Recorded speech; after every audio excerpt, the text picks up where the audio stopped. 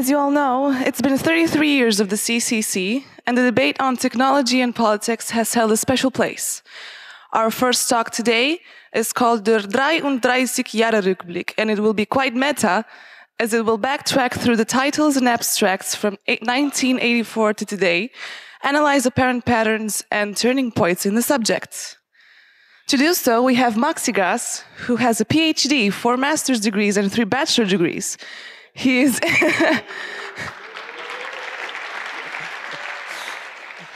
He's currently conducting postdoctoral research. He's interested in cybernetics, in the intellectual trajectory, and everyday practices of the human and natural sciences. Joining him is Mel, who has a background in computer science, a PhD in media studies, works in research in the intersection of technology, education, and the international development. A round of applause for Maxigas and Mel. Thank you.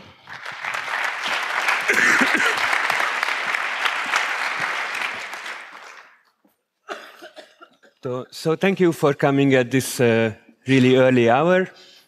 And this is the uh, first uh, results of a longer research project that uh, um, we started a couple of weeks ago. And um, the, the idea was to look at uh, how the relationship of technology and politics uh, looks like in the, uh, all the talks of the uh, Congress. So this is a kind of uh, talk about all the talks that have been before, and it's a kind of meta talk that will be about talks. And why we were interested in this question is, of course, um, because there is an evergreen debate uh, inside the uh, Congress uh, between the hardcore techies and uh, between the technical activists, how much uh, politics and what kind of politics uh, should be in the Congress, what is the interesting or uh, boring technical content that should be presented, and so on. Uh, at the same time, this is also a, a classic uh, social scientific question. In fact, there is a social scientific discipline called science and technology studies that is mainly cons constructed around this question of uh, the relationship between technology, society, and politics. So uh, what we did was uh, to uh, go back from the beginning and uh, read all the titles and the talks and categorize them and try to uh, come up with some preliminary results to show you. Um, in this journey, we found that the first years um, were a bit scarcely documented, so we had to uh, look at uh, uh, various archives and we found some funny artifacts in the meantime. So we would like to share with you um, a video, um, some parts of a television report that was screened in 1986, uh, documenting the second uh, Chaos Congress. This will be in uh, German. Played with player. Chaos Kommunikationskongress 85 in Hamburg. Die Europäische Hackerparty. Das Treffen für Datenreisende. Passfoto mitbringen.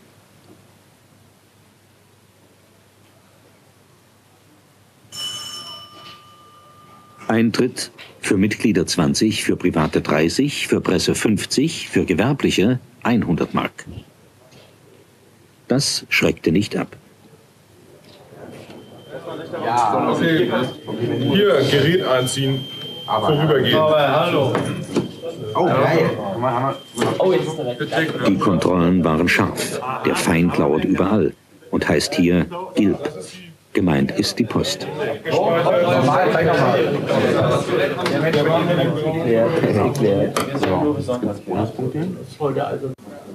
Von hier werden die Telefonleitungen verwaltet, die den Weg in die begehrten Datennetze und Banken eröffnen. Eine Art Datenreisebüro. Ich weiß nicht, so gegen vier waren wir wohl zu Hause. wird auf 14.15 Uhr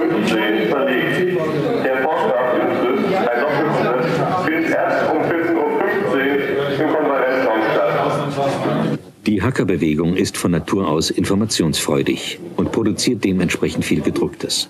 Hacken ist ein Hobby, das viel theoretisches Wissen erfordert. Der Fortgeschrittene beherrscht die Computertechnologie, die Begriffe der Datennetze und verschiedenen Datenbanken. Er muss sich ständig weiterbilden, denn alles ist im Datenfluss. Das Hackcenter. Hier durfte gehackt werden. Ganz legal, versteht sich. Der Hacker braucht einen Computer, ein Telefon und eine Verbindung zwischen beiden, einen Akustikkoppler oder ein Modem. Nun kann er sich ins Datennetz begeben. Aber viele Hindernisse tun sich auf. Die Besitzer von Datenbanken und Großcomputer sehen es naturgemäß nicht gern, wenn Fremdlinge in ihre Systeme eindringen und vielleicht auch noch Schabernack darin treiben. Sie schützen sich mit Geheimnummern und Passwörtern. Die Überwindung dieser Hindernisse ist das eigentliche Ziel des Hackers. Die erkannten Geheimnummern und Passwörter sind des Hackers kostbarster Schatz. Dank der Zentrale nahm der Chaos-Kongress einen ziemlich geordneten Verlauf. Nahezu alle Veranstaltungen fanden statt und nahezu alle zu einem anderen Zeitpunkt als angekündigt. Internationaler Erfahrungsaustausch. Es ging um die alte Frage nach dem Sinn menschlichen Tuns, hier also des Hackens. Wau sagt, wir sind nicht wie angekündigt fünf Hacker aus sechs Ländern, wir sind ein paar mehr. Wir denken, dass die Nationalität ohne Bedeutung ist. Wenn wir Ideen austauschen, sind die Ideen von Bedeutung.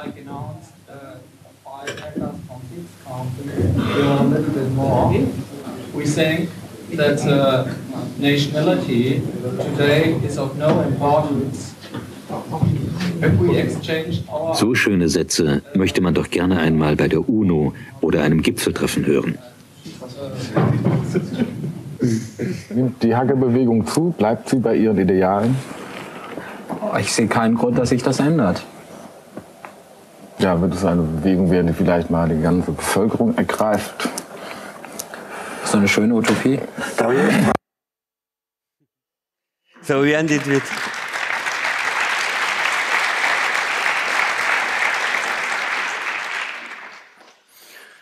So we saw a glimpse of Vo Holland at the end, the, one of the founders of the club. Um, so this is uh, uh, the word cloud of all the data set, just to give you an impression of the whole. And as you can see, most of the terms look like technical terms, but uh, then uh, in the context, uh, um, they are often uh, politicized in different ways. The, in the most typical way in which these technical terms come into a political way of talking is the nightmares that you see on the left. And we were interested to see uh, over the years how the uh, topics and how the relationships uh, developed and what was the internal dynamics of the um, of the um, chaos universe and maybe also the European hacking scene. but also we were interested how these internal dynamics was uh, connected to larger uh, social transformations. For example, if it is possible to detect uh, the fall of the uh, Berlin Wall uh, in the uh, Congress contents. Mm -hmm. um, so we chose just one very um, obvious and prominent example for a first round of searching for keywords um, and this was searching for the keyword NSA. Um, and I don't know, you can probably not read the years, but it shows that it came up in 2004 and in 2005, and then again only in 2013. And from anecdotal evidence, I, I, would have thought that it would have been present also in the years before. There was this kind of told you so mentality um, that I frequently heard people talking about, that we knew it all along and nobody listened. At least um, from the Congress talks and topics, this is not visible. Um, but as uh, Maxigas already said, we're also interested in talking to people that have attended previous talks um, and getting more data and more evidence. So maybe this was uh, visible in other areas, just not in the Congress presentations. So where did we get the data? Before 92, it was um, the most difficult part we tried first the Congress archive um, on the CCC website, but that was not available anymore. So we were lucky enough, however, to find the file still in the web archive. Um, another source was the Datenschleuder archive, which is unfortunately also incomplete. And there we found a few scanned PDFs um, that we had to copy by hand. So just to give you an example, um, this is the Datenschleuder um, from one Datenschleuder from 84. There was a more or less complete schedule from the first Congress, so that was that one was still easy enough to copy. Um, there were other ones, um, yeah, it also says bring your picture. Um, there were other ones like this one from 91. It's already a bit harder to read, um, but it was still possible. Of course, there's also no abstract, so it wasn't always easy to figure out what the talks actually were about. We'll also talk about this aspect later. And then there were files like this one, uh, which is a review of the Congress 1990. We could not find any Fahrplan or any schedule. So what we did is actually read uh, the file and try to figure out, okay, is this what people are talking about? Is this a talk? Was it a workshop? Was it just a topic that came up? Um, and try to compile um, a more or less accurate Fahrplan from this information.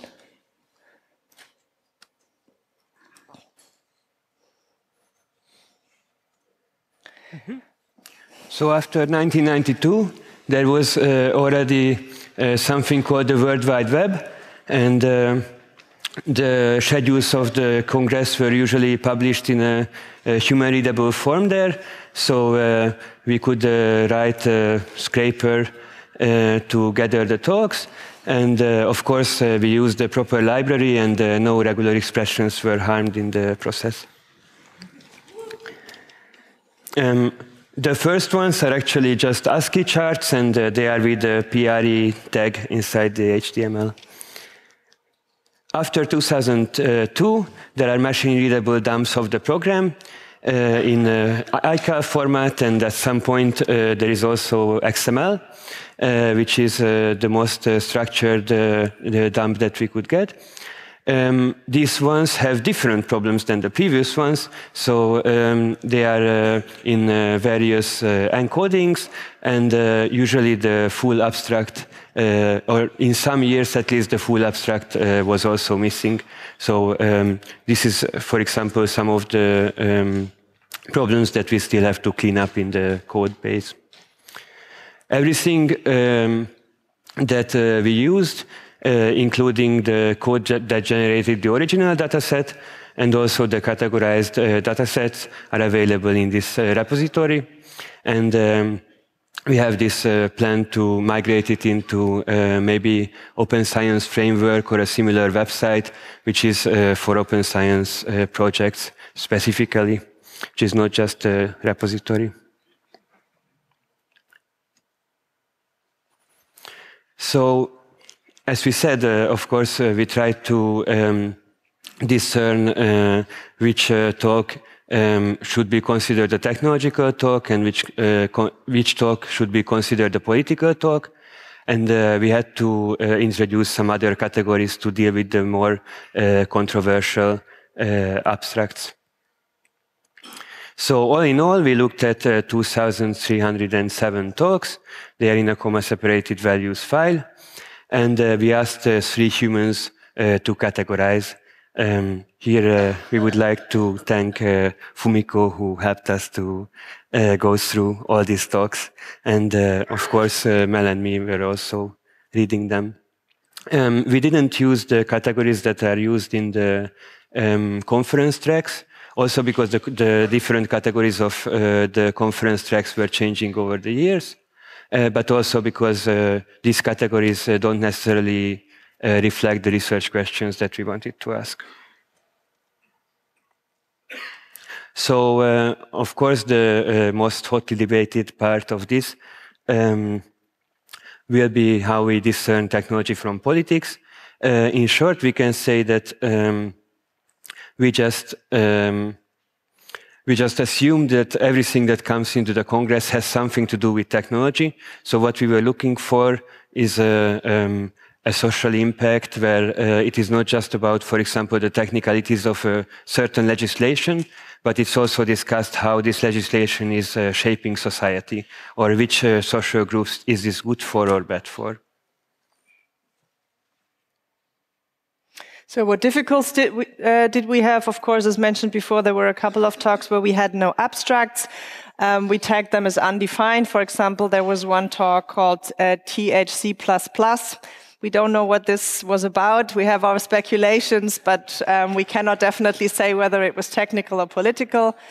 Um, there were a few non-talks like the Hacker Jeopardy, um, radio broadcast, theater, DJ sets, music, films, um, that we also excluded from the uh, uh, from our from the text versus politics tagging um, and, and tag them as non-talks. And then there were controversial talks, or just to show that um, the differentiation between technical and political here at the Congress is not always so easy. So uh, one talk, for example, called Objects Software, the Coming Revolution, um, sounds quite or rather technical, but in the abstract, it shows that it's actually dealing with changing um, changing the world or, or changing the way uh, things are made, um, influencing how everyone uh, can access technology. So this is certainly a social or political stance that this has.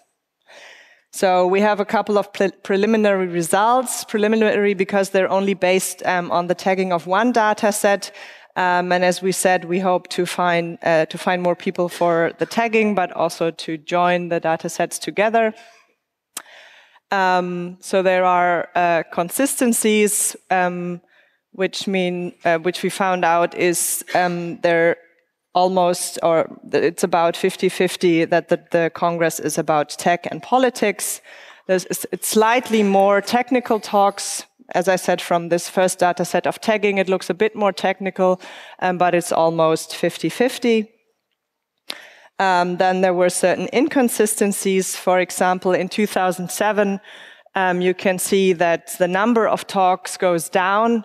In 2000, here. And this was not a change of venue, and it, it, it's also not obvious from the number of attendants, so we don't really know where this came from. If any of you has an idea, please let us know. Um, also, you can see on this one, this is all talks over the years. Um, 87 and 88, for example, we could not find any information at all. No reviews, no Fahrplan. I think only the announcement of the Congress. Um, and then there's th some potential findings or, or, things that we could read from the data. Uh, one is that more participants not, does not mean more talks. Um, another one um, is for where we could see that the data actually shows what's also written in reviews is in 89 in the Datenschleuder. It says that for the first time um, there was less technical talks than political or social ones. And this is also shown um, in the data um, here. You can see this is the first time that politics is taking over technology. Yeah, this is the overall graph. Um, there, as we said, there might be um, adaptations to this one when we merge the tagged files, but it looks like for a while politics um, was much stronger, uh, technically, technical talks were much stronger, and at the moment, politics uh, seems to catch up. So which one is which? Say the blue. Oh, the blue one is the technic, uh, technical talks, and the green one is the politics.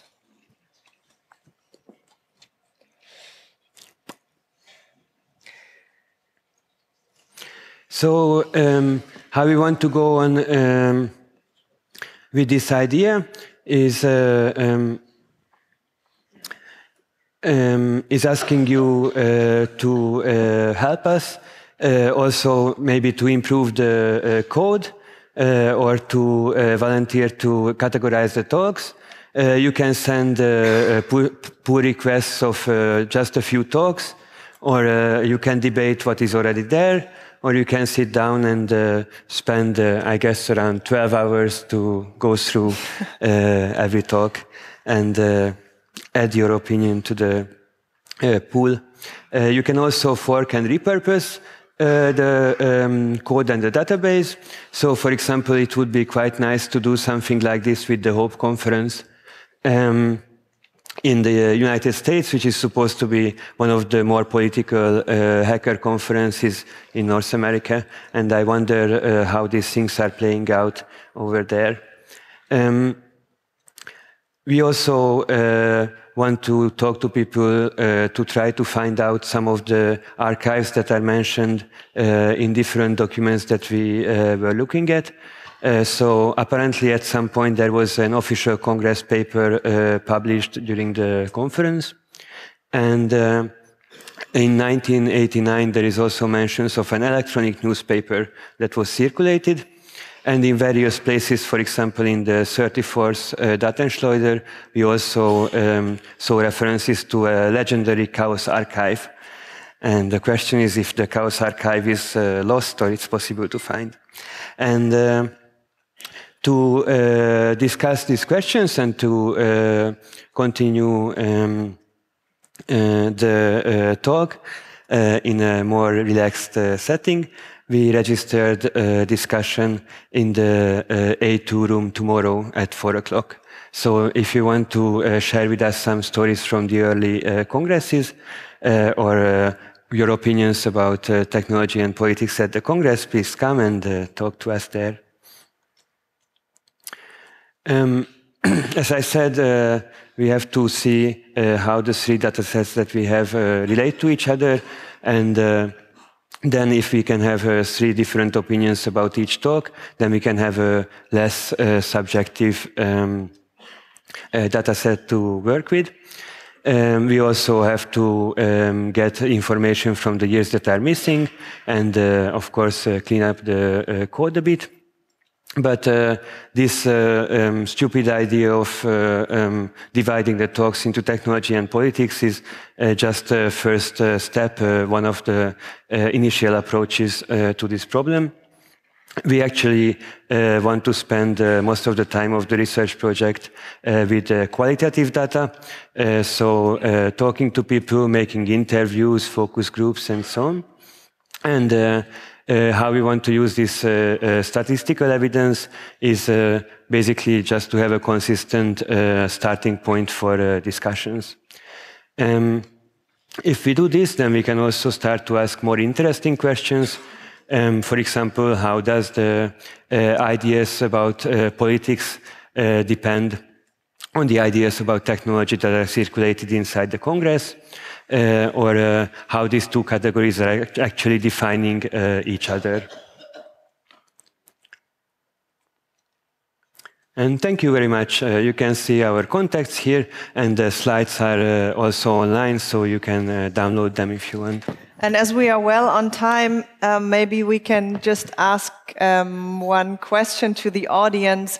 Who has attended the Congress in the 80s? Ah, so there are a couple of people. So we really hope some of you are joining our workshop because we're really very interested in hearing um, about those days. We found, as we said, um, very little written evidence from those years. Thank you. Thank How about a round of applause?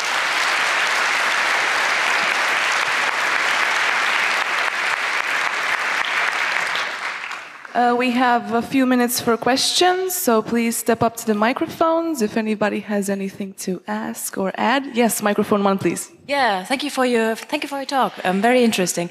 So my question is, um, you said you don't want to use those uh, grassroots uh, categories um, that the Congress itself uses for categorizing talks.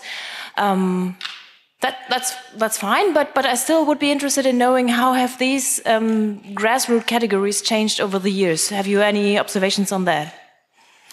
Well, um, no, we didn't look at this uh, specific question. Uh, what I can uh, say about this is maybe that uh, there was a lot of uh, technical talks which actually ended up, uh, for example, criticizing society or proposing uh, a campaign or uh, pointing out a conflict between social groups. Um, and of course, uh, for example, if a talk is about firmware security, then it will automatically go into the technical section. Um, but at the same time, we found talks that were in the political track that were just explaining, for example, what are the current laws that regulate um, independent security research. And as long as they were just an overview of the actual legislation in place uh, without uh, any normative opinions or without uh, any reflection on what does it mean um, for um, in terms of uh, freedom or uh, let's say privacy uh, for the larger population, we just categorize them as technical mm -hmm. talks. Yeah, thank you. Thank you. What about microphone three? I switch to German. Zu eurer Statistik zwischen 2004 und 2007 von wegen der Anzahl der Workshops. Das war baulich bedingt, da waren wir zu der Zeit im Hack P und da hatten wir einfach nicht so viele Räume und deswegen waren die Workshops, sagen wir mal, okay. weniger. Danke, wichtige Info. I can, I can translate for you later. Are there any other questions? Anybody else? Thank you very much.